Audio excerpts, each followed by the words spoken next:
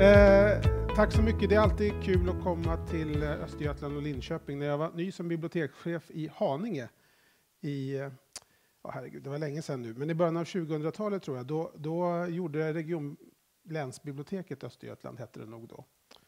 Eh, och Länsbiblioteket i Örebro hade dragit samman en, en managementkurs för bibliotekschefer. Man var moderna så det förslog.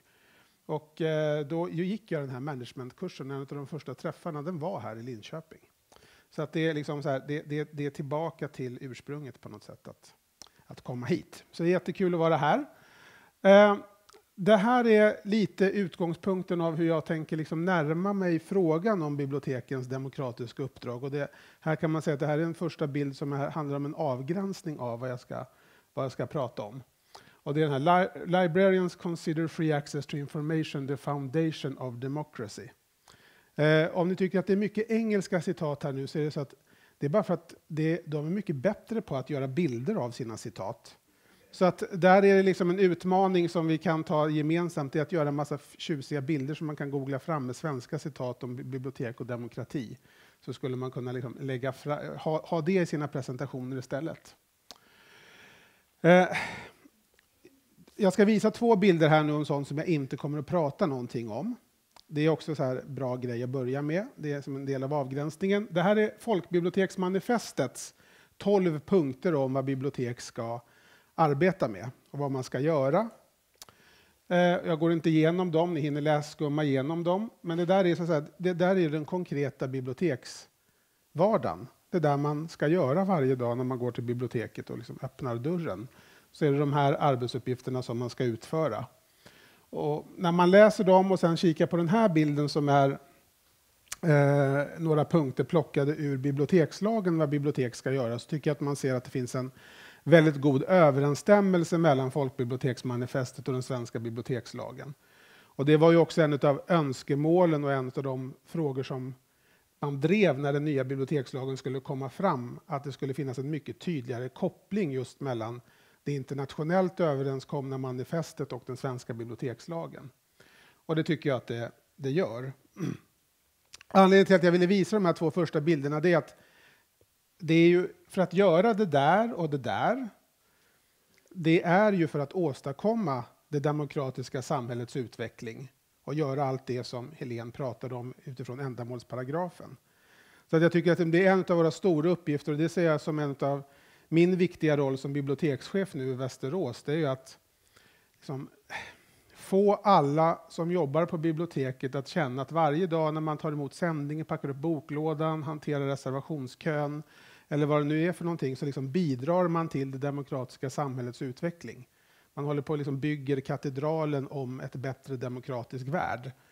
Och det handlar ju om allt det här. Så det, är liksom, det ska ni, det, det tänker jag att det ska ni ha i bakhuvudet. Att allt det man gör varje dag, det är det som handlar, det är det som bygger demokrati på riktigt. Men jag pratar inte om någonting om det här nu, så nu det här var det enda jag sa om det. Eh, det här är några utgångspunkter som jag har, som jag tänker att det liksom, jag vill eh, berätta om dem redan från början.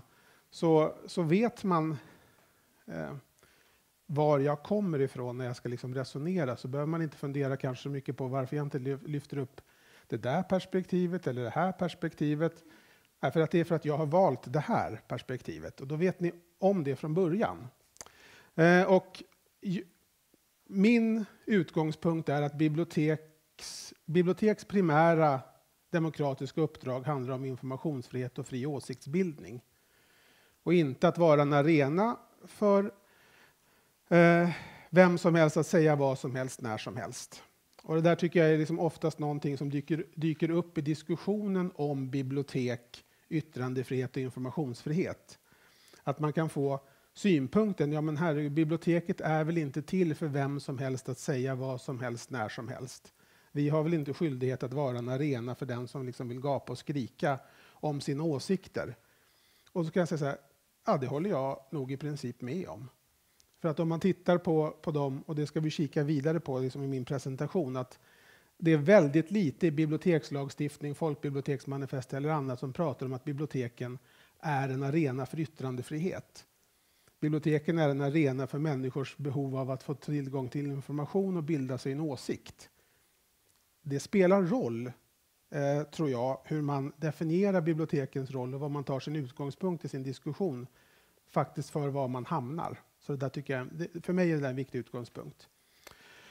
En annan utgångspunkt för mig är att mitt jobb som bibliotekschef styrs inte av mina privata åsikter om eh, det jag ska göra eller det som ska förmedlas. Jag kan ha massor av privata åsikter om vad som sägs, görs, tillgängliggörs på bibliotek. Men det är inte, ja, jag ser inte det som min uppgift att det ska styra mig i mitt arbete. Eh, utan däremot så är det så att med bibehållna värderingar och respekt för allas likas värde så ska jag leda bibliotek att utföra sitt demokratiska uppdrag att bidra till fri åsiktsbildning. Och det ställer naturligtvis till problem. För att eh, mina värderingar kolliderar ibland med innehåll, program och verksamhet som jag tillgängliggör på mitt bibliotek. Och eh, jag har landat i perspektivet att jobba för frihet till. Frihet till information eller åsikter, inte frihet från någonting annat. Och det tänkte jag berätta om hur jag har kommit fram till det. Ja, det här är lite av det som egentligen sades inledningsvis, vem jag har varit, vem jag har varit, vem jag är kanske, till och med. Eh, nu jobbar jag i Västerås som, som stadsbibliotekarie och bibliotekschef där och jag har varit biblioteks och kulturchef i Haninge kommun eh, tidigare. Jag har suttit i riksdagen en kort period för Socialdemokraterna. Eh, jag har varit generalsekreterare för Svensk biblioteksförening och jag är också, eh, som sades, eh, det här är Unesco-byggnaden i Paris. Och det där är från en session i, i eh, Information for All Program som Unesco driver som ett mellanstatligt program, bland annat för att öka tillgången till information i länder söder om Sahara i, i huvudsak. Så det är ett sånt eh, rådsmöte som vi var på i Paris.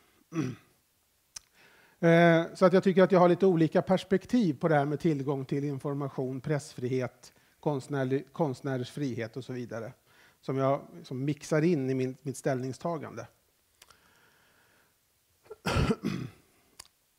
Jobbar man på bibliotek så tycker jag man ska känna en otrolig stolthet över att man är en del av en global rörelse för informations och åsiktsfrihet. Och det är faktiskt någonting otroligt häftigt. Att liksom när man jobbar på ett, sitt lokala bibliotek så är man del av någonting mycket, mycket större. En global rörelse som sträcker sig från liksom det, kommunbiblioteket hela vägen upp till Library of Congress eller vilken organisation eller stort bibliotek man nu vill ta. Och vi binds samman av gemensamma både värderingar och styrdokument. Och en av de viktigaste är FNs förklaring om de mänskliga rättigheterna. Jag ska återkomma till den. Kvinnan, kvinnan ni ser på bilden det är Eleanor Roosevelt som var en av de drivande personerna bakom att de mänskliga rättigheterna togs fram. Och där håller hon upp ett, ett ex av eh, de mänskliga rättigheterna precis när den kom ut. Och, eh, vi styrs också av Unescos folkbiblioteksmanifest som är en direkt nedplockning av eh, Eh, förklaringen om de mänskliga rättigheterna. Agenda 2030, den svenska grundlagen och bibliotekslagen. Det där är liksom olika perspektiv på biblioteken som en global rörelse för informations och åsiktsfrihet. Och så här står det ju i eh, artikel 19 i de mänskliga rättigheterna att var och en har rätt till åsiktsfrihet och yttrandefrihet och denna rätt innefattar friheten att hysa åsikter samt söka, ta emot och sprida information och idéer med hjälp av alla uttrycksmedel och oberoende av gränser. jag skulle vilja säga att 1949, 48, eh, så fick biblioteken ett gemensamt uppdrag formulerat i de mänskliga rättigheterna att vara en aktör för att sprida och se till att människor tar emot information och idéer med hjälp av alla uttrycksmedel och oberoende av gränser. Och 49, då kom folkbiblioteksmanifestet. Året efter. Eh, och där säger man i den inledande texten i folkbiblioteksmanifestet att man ska som lokalt kunskapscentrum göra all sorts kunskap och information lätt tillgänglig för sina användare. Och samlingarna ska inte vara föremål för någon form av ideologisk, politisk eller religiös censur eller bli utsatta för kommersiella påtryckningar. Jag tycker att jag vill peka på några av de här. Jo, det där är en sån där, vad coolt. Eh, Eh, några ord jag vill peka på. Oberoende av gränser. Alla uttrycksmedel. tycker jag är en viktig utgångspunkt. Och även här, inte föröverför för någon form och så vidare. Och det där är viktiga formuleringar för mig när jag har letat mig fram kring hur jag ska förhålla mig till de här texterna som står. Jag tror nämligen att ord betyder någonting. Jag tror inte att man skriver saker bara för att man ska sätta dit det. Jag tror att man i en sån här komprimerade texter som de eh, mänskliga rättigheterna i folkbiblioteksmanifestet så betyder verkligen varje ord någonting. Och då behöver man också reflektera över varje ord och varje ords betydelse och reflektera kring det. Eh, det här är Agenda 2030, den, den globala utvecklingsagendan för, för hållbar utveckling.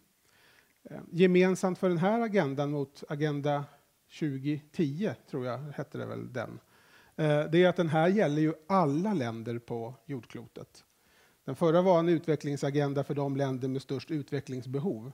Men den eh, nya agendan som stats och regeringschefer skrev på tror jag i november eller december förra året, den handlar ju om alla oss, alla människor på jorden, alla nationer på jorden. Och där finns det ett mål som heter 1610. Och där eh, säger man att målet är att säkerställa allmän tillgång till information och skydda grundläggande friheter. En grundläggande frihet är den här. Och den ska i enlighet med nationell lagstiftning och internationella avtal. Och det är med det här med nationell lagstiftning som jag tänker att ska man... Eh, det är där vi kommer in på bibliotekslagen och den svenska grundlagen. Att liksom försöka tolka vad nationell lagstiftning kan betyda när man ska säkerställa allmän tillgång till information och skydda grundläggande friheter. Och det är därför jag har kikat på, på grundlagen och det här regeringsformen. Den svenska folkstyrelsen bygger på fri åsiktsbildning och allmän och lika rösträtt. Så det, finns en, det här är portalparagrafen i regeringsformen som är en av våra viktigaste grundlagar. Och där, redan där slår man fast att fri åsiktsbildning är en utgångspunkt för den svenska folkstyrelsen. Och det tänker jag det har betydelse då eh, om man är en institution som i sin specifika lagstiftning har fått i uppdrag att verka för det demokratiska samhällets utveckling genom att bidra till fri åsiktsbildning. Då har grundlagens formuleringar betydelse.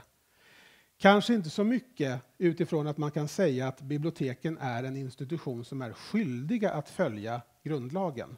Grundlagen handlar om hur, den här grundlagen och regeringsformen handlar om hur riket ska styras. Och det handlar om vilka rättigheter och skyldigheter vi som medborgare har gentemot det allmänna, det vill säga liksom våra beslutsfattare och riket i övrigt. Så man kan, inte, man kan nog inte säga att bibliotek begår grundlagsbrott om man skulle förhålla sig annorlunda till det här. Och det är inte min poäng heller. Min poäng är att det här kan hjälpa oss att få en vidare förståelse kring vad man kan mena med ord som fri åsiktsbildning och informationsfrihet. Och det är det man kommer in på här, att var och en är gentemot det allmänna för tillförsäkrad. Och med det allmänna här ska man ju förstå att stater har inte rätt att begränsa din yttrandefrihet hur som helst. Och stater har inte rätt att begränsa din informationsfrihet. Och likadant här, bibliotek kan nog inte anses liksom göra utföra ett grundlagsbrott. Men jag tror att man kan ta del av de här texterna för att just förstå och reflektera kring ordvalen om, om fri åsiktsbildning i bibliotekslagen. Och här säger man att två av de grundläggande friheterna vi har är yttrandefrihet och informationsfrihet. Och man reglerar också i regeringsformen under vilka förutsättningar de här friheterna får inskränkas. Och det där tänker jag också är liksom en viktig utgångspunkt för oss när vi ska förstå ord som fri åsiktsbildning i bibliotekslagen. Eh, och här tar man då ett väldigt långtgående skydd för när de här rättigheterna eller de här friheterna ska inskränkas. Och det får aldrig gå utöver vad som är nödvändigt med hänsyn till det ändamål som har förelett begränsningen och den får heller inte sträcka sig så långt att den utgör ett hot mot den fria åsiktsbildningen. Och begränsningen får inte göras enbart på grund av politisk, religiös, kulturell eller annan sådan åskådning. Den här bilden har jag lagt till. Det är så att Uppsala universitet har gjort en festskrift, det låter ju lite så här märkligt i det här sammanhanget, till den dåvarande överbibliotekarien Ulf Göransson. Det som är intressant med den här festskriften det är att Göran Lambert, som då var justitiekansler, som har som uppgift att liksom övervaka bland annat hur man följer eh, grundlagarna och regeringsformen, eh, skrev det här om bibliotek. Att, precis som jag har varit inne på, att man kan nog inte hävda att bibliotek har en absolut skyldighet att följa de här grundlagarna. Men han skriver i den här skriften att man måste framhålla bibliotekens mycket viktiga roll som värnar av yttrande och informationsfrihet och så vidare. Och där han säger att det är ett viktigt ansvar för biblioteken att eh, ta den här uppgiften på stort allvar. Det vill säga liksom en uppmaning att förhålla sig till det som regeringsformen bland annat säger om de här sakerna. Och det är det här som är nedplockat i bibliotekslagen då som eh, Helene gick in på i inledningen, att det ska bidra till kunskapsförmedling och fri åsiktsbildning. Och så här står det i bibliotekslagens förarbeten, och det är också en del av lagstiftningen. Så det vill jag verkligen be er om eh, när ni ska läsa bibliotekslagen, att inte bara läsa de där åtta eller tolv paragraferna, det går ganska fort. Eh, och, det, och, det, är inte säkert att man fullt ut kan ta in vad man, vad man menar med bibliotekslagen. Så liksom läs hela propositionen. Och det här står i propositionstexten. Eh, och där står det ju att biblioteken enligt regeringens förslag ska bidra till en fri åsiktsbildning, understryker betydelsen av att de intar en neutral hållning i förhållande till den information som tillhandahålls och även i övrig verksamhet understödjer ett fritt meningsutbyte. Vi ska präglas av öppenhet för olika perspektiv, stå fri från censur och andra hindrande åtgärder. Eh, och det där tänker jag också att det är liksom viktigt att förhålla sig till de där formuleringarna. Öppenhet, neutralitet, fria från censur och fria från hindrande åtgärder. Och att man kan reflektera över vilka typer av hindrande åtgärder som man på olika sätt har för det fria flödet av åsikter och idéer och information. Och det är inte så att det saknas utmaningar precis när det gäller fri tillgång till information och fri åsiktsbildning. Och jag tänkte liksom lägga på några sådana där bilder bara för att man ska kunna reflektera kring att det, det har hänt, det händer här och nu, det händer varje dag att de här olika typer av friheter ifrågasätts.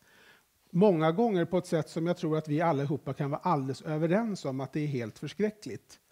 Och så ibland så möts vi nog i en diskussion om att ja, den där begränsningen var inte så tokig ändå. Eh, och sen så kan vi liksom ha, diskutera varför vi tycker si och så. Men det, jag ville lägga på de här bilderna för att vi skulle, ska gå igenom ett antal sådana här för att liksom känna på när informationsfriheten har utmanats. Och liksom så kan vi reflektera lite grann kring det för var och en och kanske tillsammans sen. Den översta bilden, det förstår ni, det är liksom de nazistiska bokbålen där man bestämde sig för att det fanns litteratur som man behövde rensa bort, för den var ju liksom inte uppbygglig för invånarna i, i, i, det tredje riket att ta del av den här litteraturen, så därför eldade man upp den. Det är ett väldigt handfast sätt att begränsa informationsfrihet och, och hindra fri åsiktsbildning. Det är som att elda upp dem, den information och de åsikter man inte tycker om. Eh, det här är från American Library Association som varje år bedriver en kampanj som heter Banned Book Week där man uppmärksammar böcker som under året har blivit utmanade. Och med utmanade betyder det att bibliotek, skolbibliotek eller folkbibliotek eller för den delen akademiska bibliotek, även om inte det händer lika ofta, så kanske framförallt skol och folkbibliotek eh, utsätts för påtryckningar från politiska grupper, från sin politiska ledning eller andra att plocka bort böcker som man av olika anledningar anser inte ska finnas på biblioteket. Och det här, nu ser ni kanske inte det här, men det här är de böckerna som var utmanade 2015, eller 10 topp. Går man in på American Library Associations hemsida så kan man få ut olika listor. Och man kan även få ut de mest, 100 mest utmanade böckerna 2000 till 2015. Men det här var just de 10 topp från 2015 som utmanades på olika bibliotek. Uh, Looking for Alaska, 50 Shades of Grey, Bibeln, Ja, ni ser. Och så står det under så att säga varför. Two boys kissing, homosexuality and other eh, problems. Eh, som så. Och här kan ni se, det här är de tio mest utmanade böckerna. Eh, och varför de har blivit utsedd, eh, utmanade då. Ofta handlar det om religion eller sexualitet eh, som på olika sätt anses inte uppbyggligt att, att eh, bibliotekets besökare ska ta del av. Eh, här är andra. Här har vi en rektor som gick in och fattade ett beslut om att plocka bort eh, en, en bok från ett skolbibliotek efter klagomål från föräldrar, också kopplat till eh, sexualitet. Eh, där man inte ville att barnen skulle ta del av det här innehållet och rektorn föll till föga och plockade bort boken från skolbiblioteket utan att skolbibliotekarien höll med. Ett ingrepp, skulle jag säga. Eh, här har vi Le Pen. Eh, nu är det ett tag sedan, 97 är den därifrån, men den kan vara, nog hålla, kan vara viktigt att hålla i minnet eh, nu inför det franska valet, för vi kommer att ha kollegor som antagligen kommer hamna i besvär, tänker jag, precis som man gjorde då. Och här var det att man fattade beslut om i ett antal städer som eh, Nationella fronten eh, hamnade i ledande ställning i. Att man skulle plocka bort litteratur som inte var skriven av fransmän och att man skulle plocka bort litteratur som inte var på franska. Och eh, det kan ju hända igen. Och där, hade man, där valde man den begränsningen. Det ska vara skrivet av en fransman och det ska vara på franska. Det är det bibliotek ska ägna sig åt, fransk litteratur på franska. Eh, och ja, det är ju ett sätt att resonera kring vad bibliotek ska vara. Stämmer inte så väl överens med de andra delarna vi har tittat på om, om eh, artikel 19 och folkbiblioteksmanifestet och så. Men man kan uppenbarligen hamna i den, den slutsatsen. Eh, vi har en liknande strömning i Sverige där, där faktiskt ett parti i riksdagen, eh, Sverigedemokraterna, har motionerat om att Eh, rätten att använda bibliotek ska knytas till medborgarskap och att vi ska sluta prioritera mångspråkslitteratur. Och skulle man läsa deras eh, motion lite noggrannare så skulle man se att de vill att, att man bara ska ha eh, eh, litteratur på svenska och de nationella minoritetsspråken. Så det, det, är också en utmaning av informationsfriheten och den fria åsiktsbildningen. Här har ju grejer som vi har ops, gjort mer själva. Eh, där man har kommit fram till, det här är då Tintin-resonemanget, eh, eh, att man kom fram till att den här litteraturen eh, eh, inte stämde överens med de värderingar som nu fanns och finns i samhället om hur man framställer andra människor och vilka ord och begrepp man ska använda, där biblioteket då valde att, att göra förändringar. Det där stämde ju inte riktigt överens. Utrensa, det här är en rubrik från Svenska Dagbladet. Det där var inte helt sant. Man gjorde ju liksom förändringar i hur man tillgängliggjorde litteraturen, men det var ju andra bibliotek som sen följde efter också. Lilla hjärtat skulle man ha kunnat lyfta fram också. Eh, den här bilden har jag tagit upp för att det är, liksom, det är inte bara litteratur, det handlar även om programverksamhet på biblioteken. Ehm, och här var det att eh, man skulle ha en eh, uppläsning av en, en skrift, som, eh, en skrift om bockbränning. Och då ansågs den för provokativ i Gävle, att, att man läser upp en, en, en text om bockbränning. Så därför så, så genomförde man förändringar av den här, det här programmet. Och det på olika sätt så utsätts, utsätts bibliotek, och det kanske vi får höra mer om här under, eh, under dagen, att liksom utsätts för attacker i sin programverksamhet. Jag har vid två tillfällen själv varit tvungen, har utsatts för attack, på säga, när vi har haft program med veganrörelsen på Västerås stadsbibliotek. Eh, eh där en av föreläsarna har varit dömd för eh, brott eftersom han har släppt ut minkar eh, på ett sätt som man inte får. Och då har det kommit reaktioner över varför vi tillåter en tidigare brottsling att liksom prata om sin eh, syn på, på vegan och liksom odling och liksom sånt där. Och vårt svar har hela tiden varit så här, ja, eh, dels så, så, kontrollerar vi inte om folk har varit dömda för brott eller inte när de kommer in på biblioteken, utan liksom var och en är välkommen. Eh, vi har dragit gränsen för att han får inte uppmana till brott när han är på biblioteket, så han får liksom inte uppvigla till brottslig handling och han får inte begå brott på biblioteket. Men om han håller sig till de två reglerna, inte se till att andra begår brott och inte begår brott själv, så har han fått komma dit. Och det är inte alla som har tyckt att det har varit jättebra då, liksom i tidning och press och sånt där. Men där har vi dragit våran gräns. Eh, det här är en, en eh, ukrainsk bibliotekschef som har slängts i fängelse för att hon har eh, tillgängliggjort eh, eh, antirysk litteratur på biblioteken. Så det har gått så långt så att hon har fängslats. Eh, och det här förslaget har jag, eller den här har jag tagit upp eftersom det dök upp en diskussion där även Biblioteksföreningen var inblandad om att man ska bojkotta bok och bibliotek för att de tillät Nya Tider att ha en monter eh, på, på mässan. Nya Tider eh, är en, en fullt laglig tidning som har svenskt pressstöd tog emot 3 miljoner i pressstöd av Pressstödsnämnden 2016 eh, och eh, lever under de regler som press, radio och tv har att följa i det här landet och har inte varit dömd för någon brottslig verksamhet. Eh, och där tycker jag att det liksom blir lite konstigt att man ska bojkotta en mässa för att man tar in en fullt laglig tidning som dessutom har svenskt stöd från Pressstödsnämnden. Eh, det här är lite andra utmaningar vi har att hantera. Här har vi the Alternative Facts section. Previously labeled as fiction. Eh, ett universitetsbibliotek som har satt upp sådana där skyltar. Men här har vi det här liksom, eh, det hela nya paradigmet som vi också faktiskt har att hantera i om vi ska syssla med informationsfrihet och fri åsiktsbildning. Det är liksom att, att möta den här typen av utmaningar också. Det är inte bara liksom när vår litteratur blir utmanad eller våra program eller vad det nu kan vara, utan liksom här har vi en hel varseblivning som håller på att utmanas. Det där är liksom de alternative facts. Här har vi det här med faktaresistens som faktiskt Språkrådet har tagit in som ett nytt ord. Det vill säga liksom någon sorts eh, förhållningssätt som innebär att man inte låter sig påverkas eller, eller någonting som talar emot ens egen uppfattning.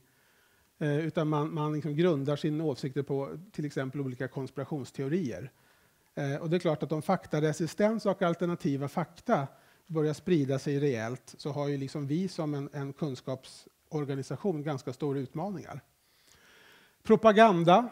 Eh, det lyfter både demokratiutredningen och medieutredningen fram som ett allt större hot där man har liksom hela propagandafabriker eh, i olika länder nu som sitter och liksom skickar ut propaganda i sociala medier och på andra ställen som liksom naturligtvis bidrar till alternativa fakta och faktaresistens. För att de, och det där ska, det där ska föreställa filterbubblor. Eh, så att om man befinner sig i en filterbubbla där man har en bestämd åsikt om en sak så matas man av alternativa fakta och propaganda in i den där bubblan. Eh, så kommer man ju att tänka sig till slut att eh, journalister och andra som försöker göra ett seriöst jobb, eller för den delen bibliotek, bara håller på liksom och försöker indoktrinera mig med eh, falsarium. Eh, och, eh, det där är ju allvarliga grejer för biblioteken att försöka stå emot på olika sätt. Genom att tillhandahålla ett sånt rikt utbud, tänker jag, av riktig fakta, men för den delen av åsikter och synpunkter och ställningstaganden. Eh, några andra saker som jag ville lyfta fram. Här har vi eh, självcensur tror jag också är liksom en oerhört viktig fråga både för oss i, vår, liksom, i vårt arbete på bibliotek att förhålla oss till. Um, kan vi hamna i situationer där vi blir så utsatta eller påpassade eller påhoppade eller debattklimatet är ett sånt så att vi liksom börjar lägga oss till med självcensur och finns det andra som gör det? Man resonerar ju kring att debattörer, journalister, konstnärer och andra eh, i rädsla av att bli utsatt på olika sätt liksom slutar framföra sin åsikt, slutar framföra sina verk eller sin konst och man idkar olika typer av självcensur. Den där bilden är ett exempel på det här med konstnärlig yttrandefrihet. Som att det här är Ecce Homo, det är en bild av Elisabeth Olsson Wallin. Den väldigt utskällda eh, liksom, eh, fotoutställningen som hon hade.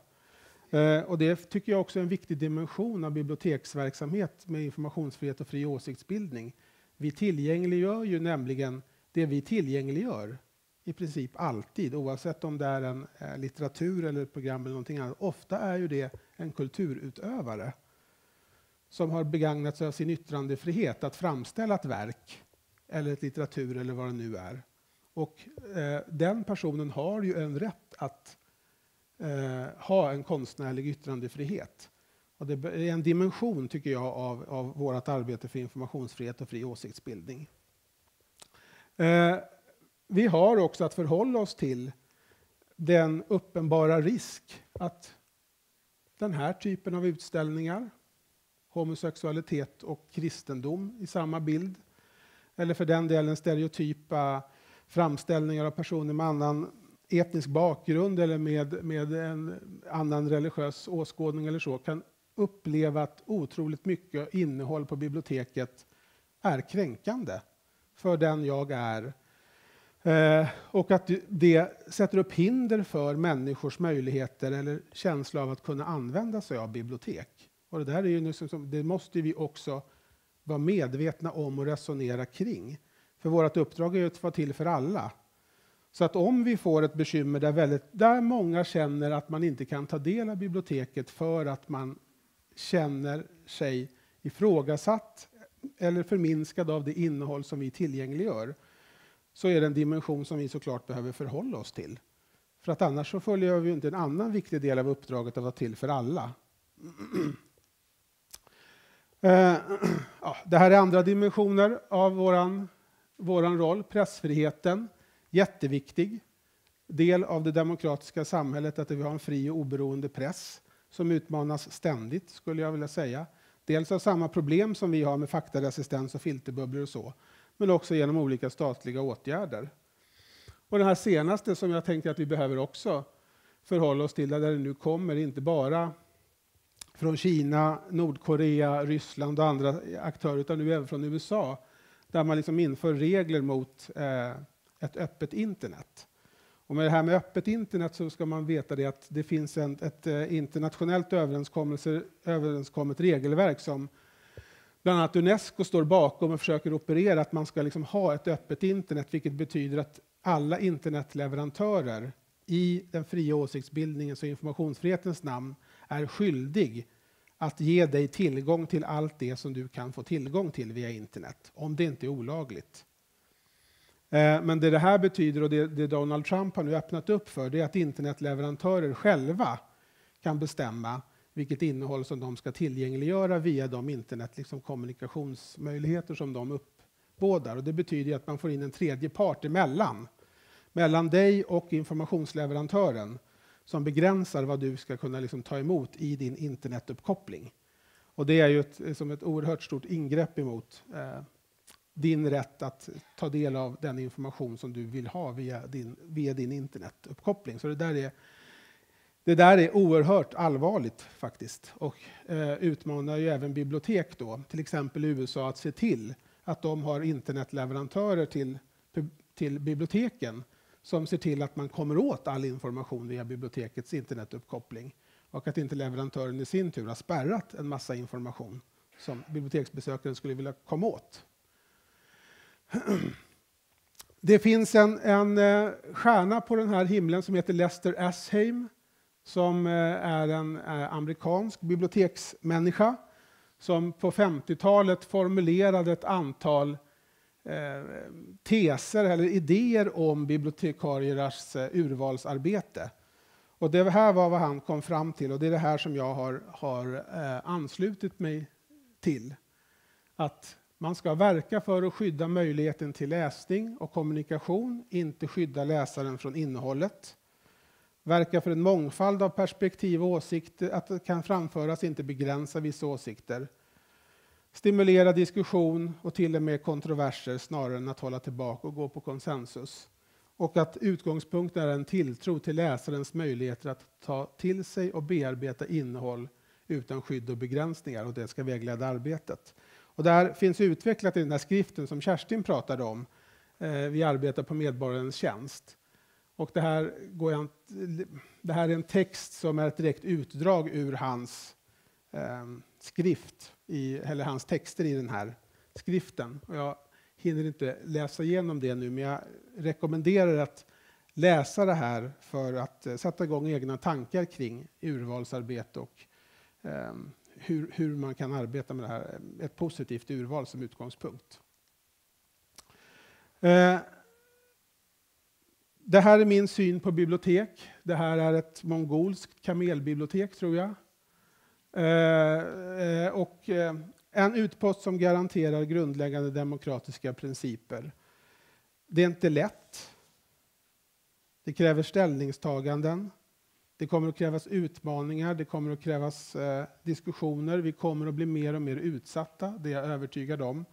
Så att om vi vill, orkar, kan och törs eh, så tror jag att vi kan vara den där utposten. Så tack för att ni lyssnade och gå ut och gör skillnad.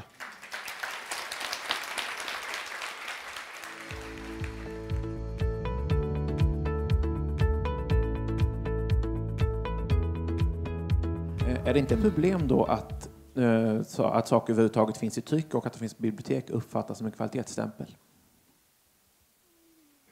Utveckla. Eh, det är lättare än någonsin att göra böcker.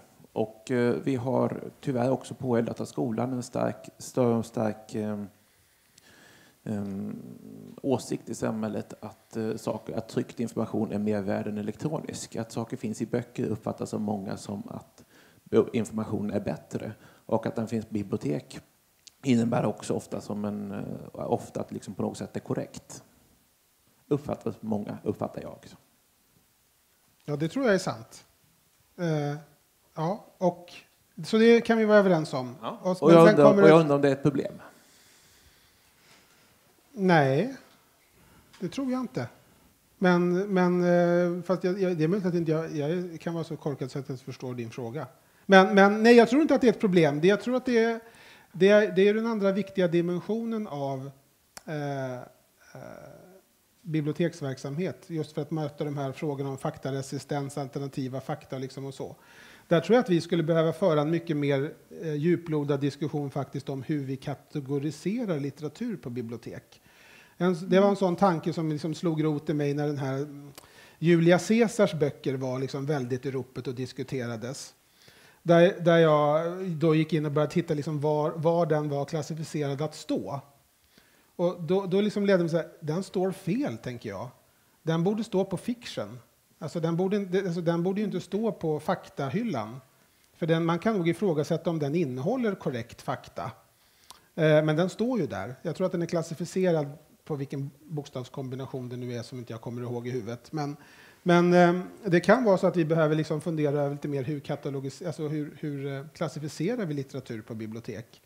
Om vi ska ta in mer och mer som kanske är mer alternativ fakta än fakta. Och var ska den stå på biblioteken? Så det där med alternative facts section är inte så himla dumt ändå, tror jag. Så att man kan sortera upp det. För att jag tycker inte att man ska sätta liksom ett, ett en skillnad i, eh, eller man ska inte i akt och mening att innehålla liksom den korrekta informationen se till att sortera bort mycket av allt annat som finns. Jag tror att det är viktigt att det också finns att ta del av på bibliotek. Vi kommer att få, vi kommer att få använda mera tid tror jag, till att diskutera just eh, medier och medieurval eh, framöver. Också, därför att vi behöver också titta på det som bibliotekslagen säger om att vi ska ha en bredd och ett djup i vår, de medier som vi tillhandahåller. Och det betyder att det här är ett stort uppdrag för biblioteken fram, framöver. Det blir fler bok och mediediskussioner framåt, kan vi väl förutsäga. Mm, säkert. Eh, jag undrar bara vilka böcker i Sverige är det som blivit utmanade? Liksom, ja, problemen liksom. Jag förstod det som att det var resten av världen, de böckerna som stod där förr. Det där var ju det där var utmanande böcker i USA. Alltså som, Jag undrar hur det är i Sverige. det kan inte jag svara på. Det finns ingen som gör en liknande sammanställning här. Så att jag, jag kan inte svara på det. Tyvärr. Ja. Det kan möjligen vara så att det, möjligen kan det vara så att vi inte riktigt har sett samma eh, starka tendenser här än. Skulle kunna vara en förklaring till att ingen har liksom sammanställt de här listorna, men vi, vi kanske är på väg mot en liknande situation, vad vet jag.